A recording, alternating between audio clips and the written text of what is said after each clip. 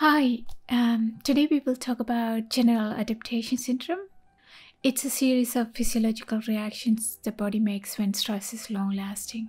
General adaptation syndrome was first described by Hans Selye, who is considered the father of stress. First stage of gas is an alarm reaction. It's basically the fight or flight response to an emergency.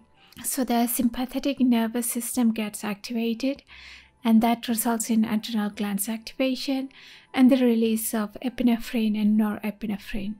There is also slow response from the HPA axis, resulting in cortisol release.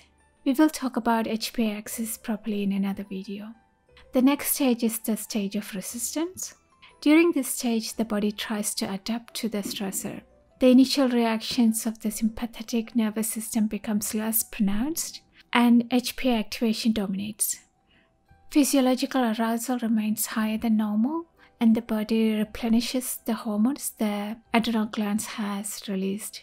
Despite this continuous physiological arousal, the individual may show few outward signs of stress, but the ability to resist new stresses may become impaired. According to Selye, this impairment may eventually make the individual vulnerable to health problems.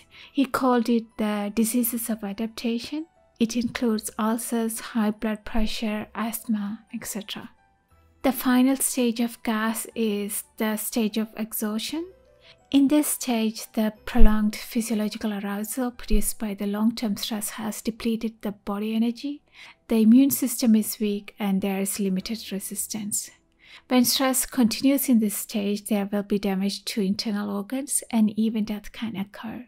This is the stage that presents with insomnia, burnout, or depression.